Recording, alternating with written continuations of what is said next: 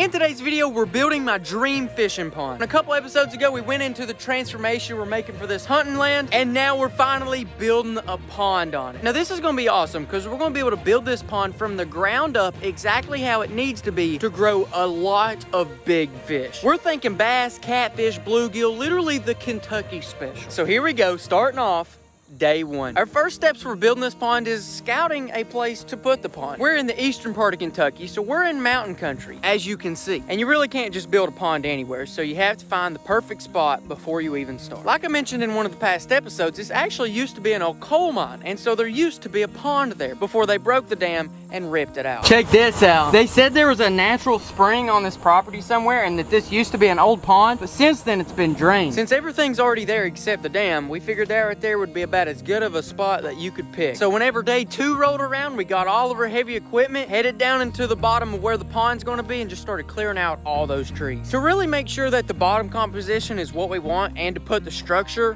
where we want it, we really gotta get in there and clear out all the bushes and all the trees and really make sure that the bottom is even and flat and that there's no big holes in it that we didn't know about. In a way, it would be really cool to flood all that stuff and let the fish swim in it. But as soon as we did that, our luck, there would literally be a hole, like a well in the bottom of the pond and we wouldn't even know it and then it just drain every day. So now the equipment we're using to build this pond is one, a dozer. This thing is an absolute hoss. It basically pushes dirt wherever you want the dirt to go. The dozer operator, which is my cousin, tells the dirt to move and the dirt moves. This thing is OP when it comes to building ponds. You could not do it without it. Or you could, but it'd be really hard. Next thing we have is a smaller excavator. Now on a big project like this, we're dealing with some big trees, big bushes. We're really not using this one as much, but we have it here just in case we need it. What we do use a lot is the big excavator. This one's almost twice as big as the smaller excavator, and we're getting in there, picking up dirt, moving the dirt, ripping up trees, all that good stuff. If it needs dug up, this is our tool to do it. Then we have the articulated truck. This is basically an off-road dump truck, which is specialized in hauling large amounts of dirt in places that a normal truck couldn't go. For example, a bottom of a pond. So with my dad, my uncle, and my cousin, all three working together with all those pieces of equipment, they're seriously gonna get this pond done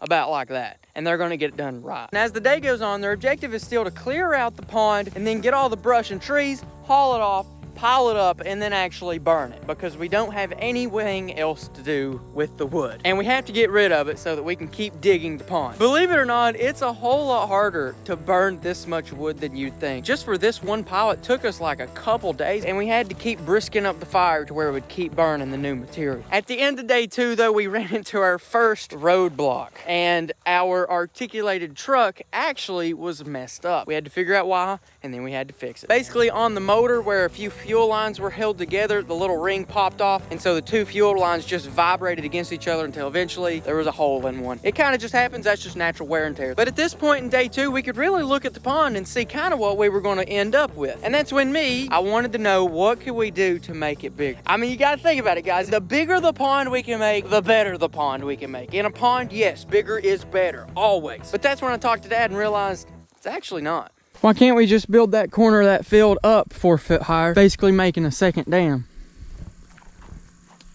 We'll see if we can. But let's give it more places to leak. So is the problem that we just don't have enough dirt? Maybe. It's according what kind of dirt this is. See this hole? So far, that's okay. See, when they mined this coal, they drilled the rock and shot the rock up, and they hauled it off to uncover the coal, and they dumped it somewhere. If they dumped all that rock here, then we can't use this stuff. If they dump the dirt that come off the top of the rock here, then then we're good. We've got plenty to work with. Basically what my dad was saying about this pond is that our biggest problem and biggest potential risk is that when we go to build the dam, either one, we're not gonna have enough dirt to do it, or two, the quality of dirt actually won't be good enough to hold water. So what makes one kind of dirt better than another kind of dirt? Well, some dirts have more clay in them, and clay is like hydrophobic, so water doesn't just seep through them. That's good dirt. Any kind of dirt that can really pack together and hold back water, that's good dirt. Bad dirt is really rocky, it's really dry, kind of brittle and doesn't pack together very well. In dirt like that, water will just find a way around the rocks, down a crack, through that. And slowly but surely, like you, you just get like, the water just goes through the rock and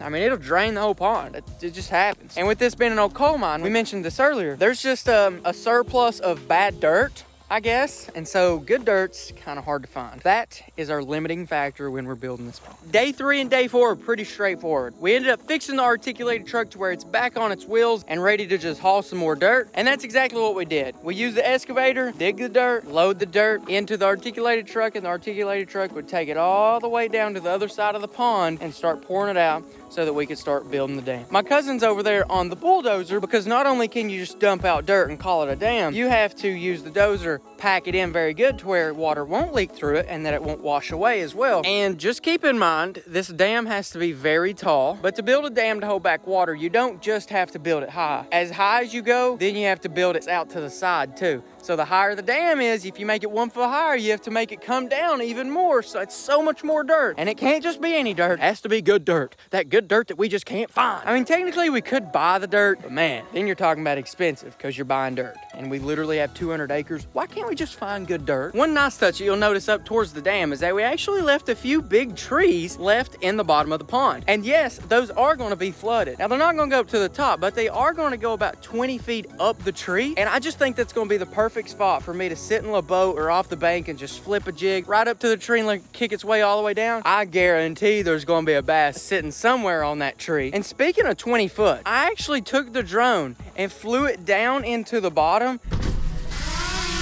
All right, guys, so right now, this is the pond. It's looking pretty good, but what's important to know about this is let me get a little bit closer and let me actually show you where the water level is gonna be. So we're gonna have to keep on going down and down, and the water level is gonna sit about right here. And I figured out with the altitude that it is actually going to be 35 feet deep at its deepest point. I don't know about you, but I think that's a mega deep pond, if I do say so myself. Most ponds are like six foot deep max. That one's going to be 35. So as we're digging up the dirt, we keep the good dirt, send it off to the dam, dump it out, pack it down. But the rocks will grab those with the excavator and set them over in a pile. That's when we start to see this big pile forming of giant boulders that are the size of a truck bed. That's a big rock, and we have a lot of them. Like, look at this rock pile. I'm telling you this right now, if we had to buy those rocks, it would be probably over $10,000, depending on where you bought them, potentially more. And every day that we dig, every scoop that we dig, we're finding more and more rocks. And at the end of day four, we're just pulling them out,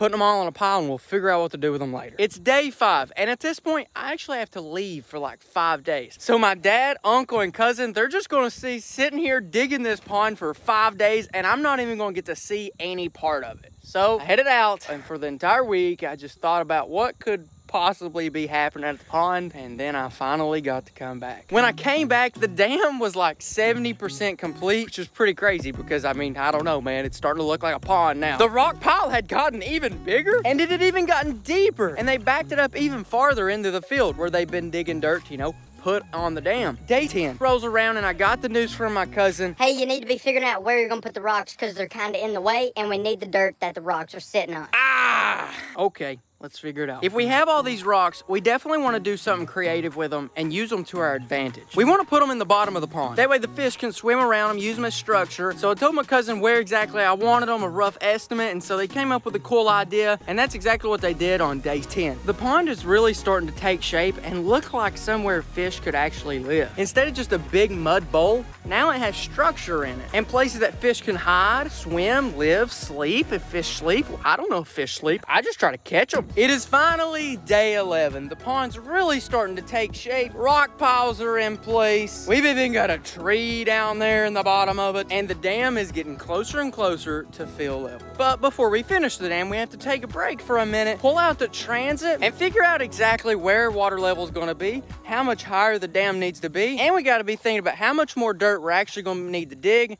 to finish the dam. If you look back here behind me, you can see rock piles distributed out and through the pond. Back here behind me, you see a super long rock point, kind of like a pier, and behind me another rock point. And this is really awesome because if you guys don't know, fish love rocks. And the reason they love rocks is because it gives them so many places to hide from bigger fish. As we're building this pond, we're not only thinking about the catfish and bass. You gotta think about the crawdads. You gotta think about the bluegill, even the minnows, and even the algae that the minnows eat. And so as we build these rock piles, we have the bait fish in mind. Imagine you're a minnow. You're this big, but there's a fish this big trying to eat you. What are you gonna do? Well, I'll tell you what I'd do. I would get my little minnow body and I'd go and then I get right back in there to where that big fish cannot get me. Well, that is exactly what all these rock piles do. These rock piles are also super important to the catfish. Unlike bass and bluegill, catfish actually need something pretty special to breed and lay eggs. They need a place where they can get back in, kind of like a little hole, be super protected, and watch their eggs like that. In most man-made ponds, there's actually no rocks and no cover suitable for catfish to lay eggs in. So they just don't. And that's why in most ponds, ever so often, you have to restock catfish because they cannot reproduce on their own. But with these, all these rocks, every single rock is giving a catfish an opportunity to get back in the crack and lay eggs. Down in the deepest parts, you can see we have rock piles scattered across the bottom, along with just big rocks sitting and chilling wherever. This is really good because, hey, sometimes the fish want to go deep. As you look up closer to the bank, you also see smaller rock piles, which will end up being about two to five feet underwater. This is going to be great because we can walk the bank, visually see the rock piles so that we can fish them effectively. Then on the far back end, we built something pretty special. A pier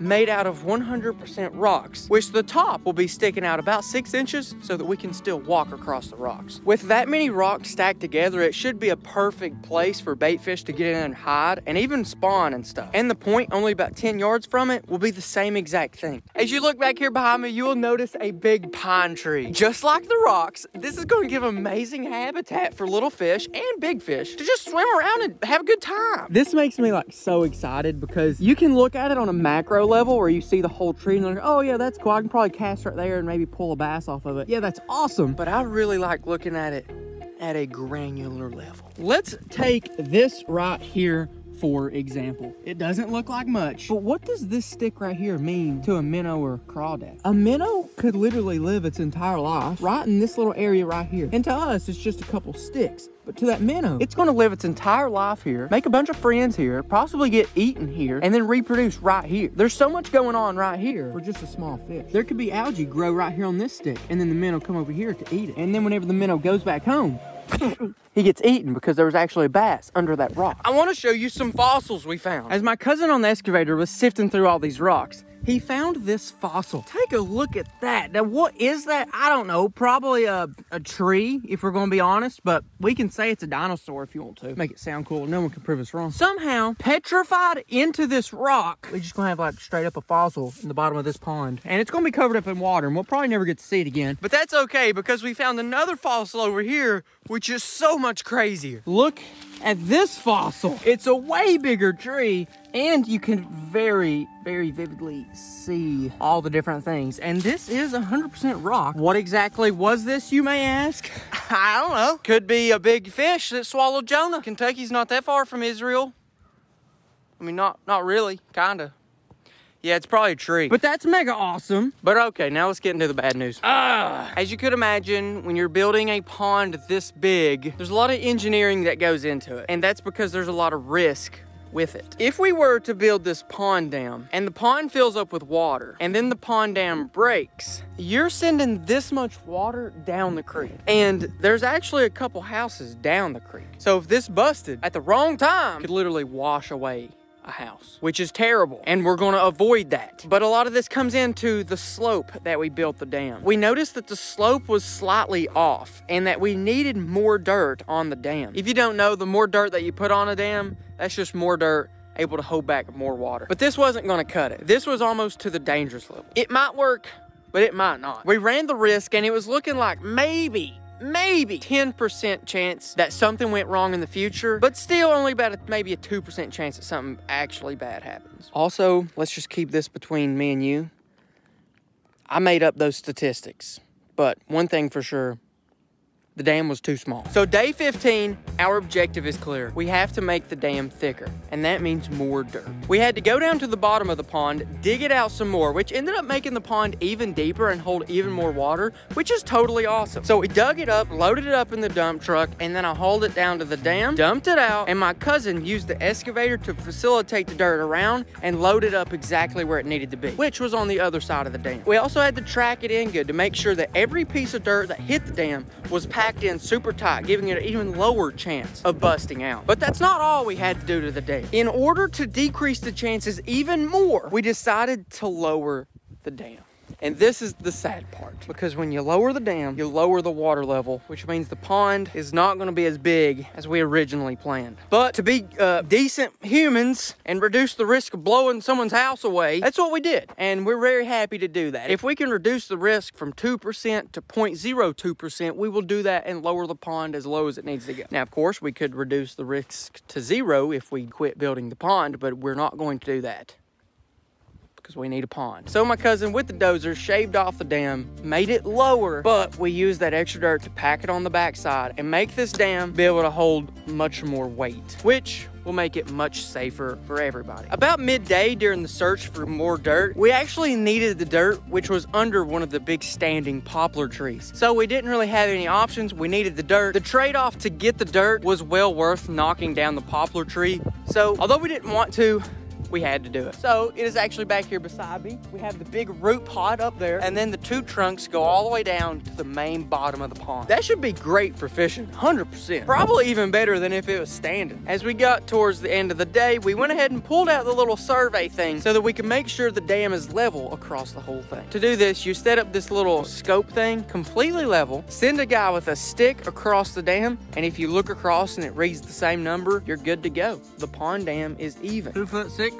Two feet three and a half. Two feet one and a half. Two feet. Two foot six. Basically, we do this until it's all the way across two foot six. We also added the spillway, which is just a pop. Actually, that's not the spillway. That's just a pop. That is the spillway. The spillway is higher up than the pop, but lower than the dam. That way, if the pipe gets clogged up, water can still exit without burrowing over the dam and pretty much destroying the dam. After day 15, 100% of the pond dam is complete. We added up the totals and to build the pond, it came out to 725 loads of dirt, 1,091 gallons of diesel, and three really sore backs and knees. They were a little sore after this job. But the pond is done. But the ultimate pond is far from complete. We gotta build the structure. We gotta add the zip line. We gotta add the fish. We gotta add the dock. We gotta add the houseboat. And yes, we're adding a houseboat. And it's at this moment that I need you guys to comment below what should we name this pond. Next video, I'm gonna pick a winner and I'm gonna send you free merch for whoever picks out the name for the pond. Click over here if you wanna see the land development where we're turning the 200 acres into the ultimate hunting land